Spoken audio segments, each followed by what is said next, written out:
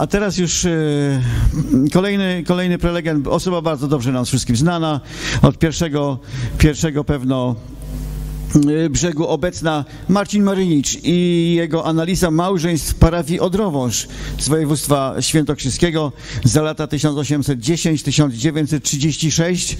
E, Przedstawi wyniki tej analizy. Pisze o sobie, że uwielbia podróżować, szczególnie w miejsca związane z życiem przodków oraz szeroko pojętą polskością. Zapraszamy Marcin Marynicz.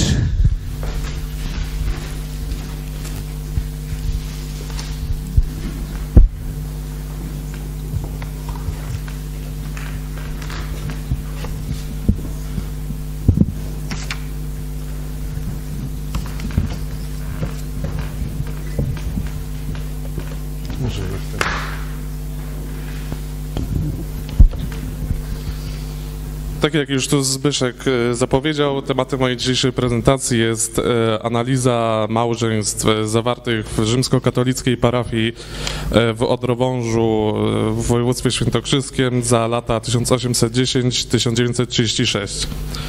Pierwsze wzmianki o parafii e, mówią, że powstała ona w XIII wieku. E, Wtedy też miał powstać pierwszy drewniany kościół i parafia była pod wezwaniem świętego Jacka i świętej Katarzyny. Pierwszy i zachowany do dnia dzisiejszego kościół e, murowany pochodzi z XVI wieku. I co ciekawe, przez półtora wieku był to zbór kalwiński.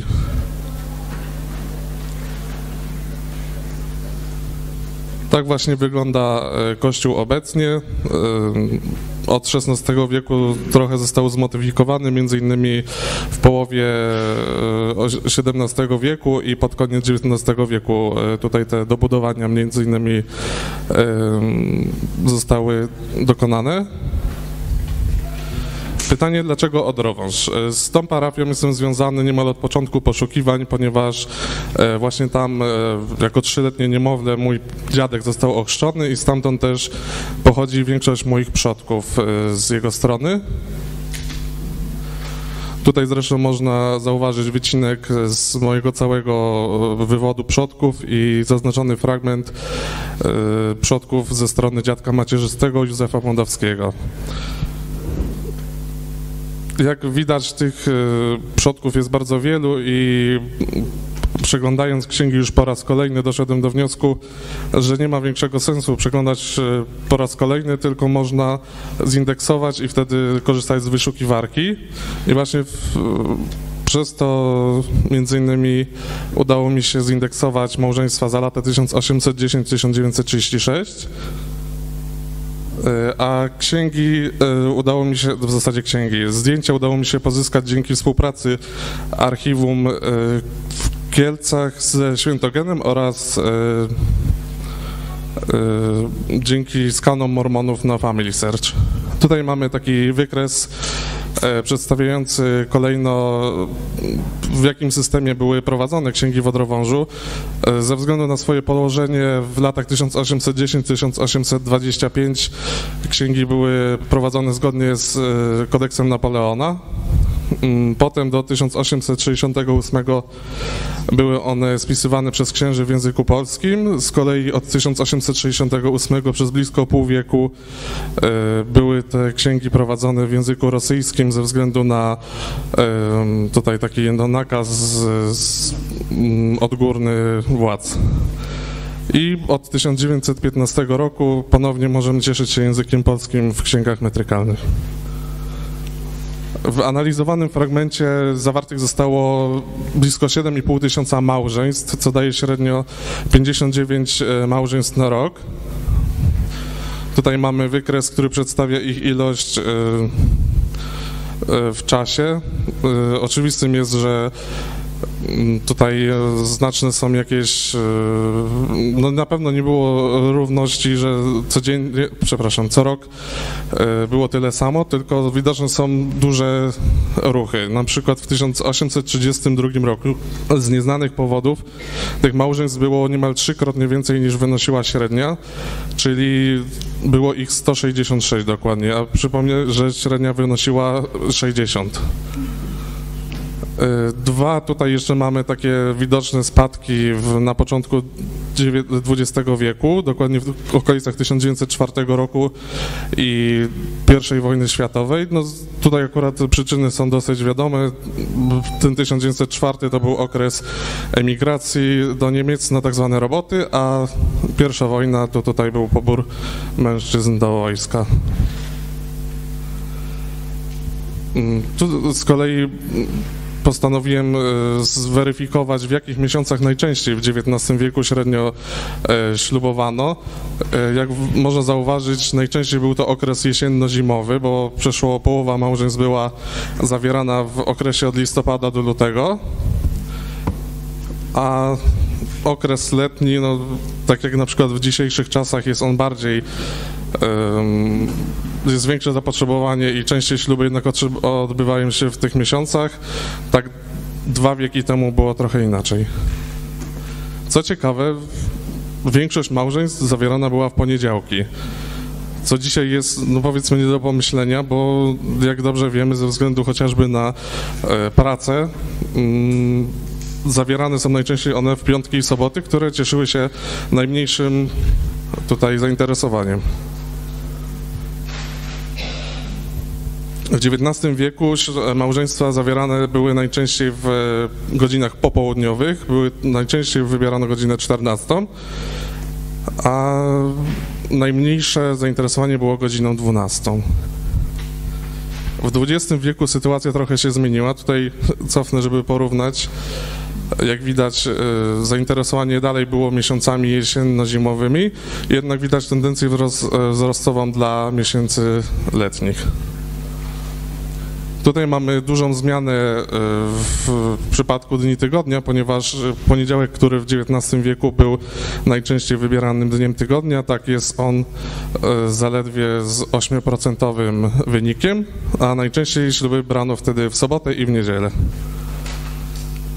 W sprawie godzin za wiele się nie zmieniło, ponieważ w dalszym ciągu najwięcej było ich w godzinach popołudniowych.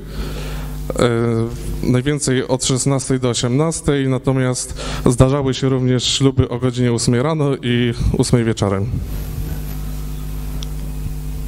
Postanowiłem również zweryfikować, ile mniej więcej e, mieli przyszli małżonkowie w chwili zawierania małżeństwa i tak pan, e, pan, pan młody z reguły miał niecałe 28 lat, natomiast panna młoda była średnio o 4,5 roku młodsza. W przypadku y, płci było to mniej więcej, y, to znaczy może nie tyle co płci, co y, ilości zawieranych małżeństw. Co dziesiąty był wdowcem, natomiast u kobiet była to jedna na 25. Tutaj mamy wykres, który przedstawia y, zależność, y, jaki to był, jaki to był z jakiego stanu byli małżonkowie. I tak 88% z małżeństw to był kawaler z panną. E, Tutaj mamy wynik e, około 8% wdowiec z panną, natomiast wdowiec z wdową i kawaler z wdową było najrzadszym małżeństwem. W przypadku wdów i wdowców średnio wdowiec miał 43,5 roku, natomiast wdowy średnio 46 lat. Jak widać, y, najczęściej to mężczyzna był starszy od swojej wybranki, tylko w przypadku małżeństw kawalera z wdową, co prawda niewiele, ale to jednak kobieta była wtedy starsza. I tutaj y, postanowiłem też y, odnaleźć takie powiedzmy dosyć ciekawe informacje, chociaż przy całej próbce nie da się tego zrobić e, dokładnie ze względu na to chociażby, że po ślubie małżonkowie em, albo zmieniali miejsce zamieszkania, czy nawet e, w trakcie e, tego trwania małżeństwa. I e, jednym z takich małżeństw jest e, ślub Ignacego Borunia i Julianny Kaczmarczyk, którzy pobrali się 11 lipca 1917 roku i przeżyli ze sobą 76 lat. Tutaj no, jeden ze smutniejszych rekordów, co prawda z, nawet z, z, tutaj z mojej rodziny, Zofia z Boruniów, y, mając 15 lat i 10 miesięcy, poślubiła starszego o 20 lat Stanisława Karczmarczyka, który 13 dni po ślubie zmarł i zostawił owdowiałą żonę, która miała zaledwie 15 lat, 10 miesięcy i 3 dni. Trzyna- 13 dni, przepraszam. I to byłoby na tyle. Dziękuję.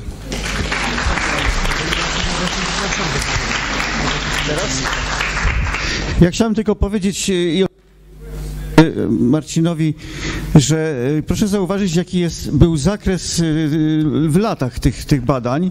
To są dziesiątki lat i zrobienie takich statystycznych wykresów, jak tutaj wyglądały choćby w wieku, to znaczy, że musiał przejrzeć dziesiątki, a może nawet setki, na pewno setki metryk, żeby te dane spisać. I to nie jest tak po prostu, że ktoś sobie po, postanowił porównać wiek małżeństw w jednym roku. Nie, tam mieliśmy kilkadziesiąt lat, prawda Marcin? To było tytaniczna praca, tym bardziej należą się podziękowania za coś takiego, y, bo godne to mrówcza, mrówcza praca godna podziwu.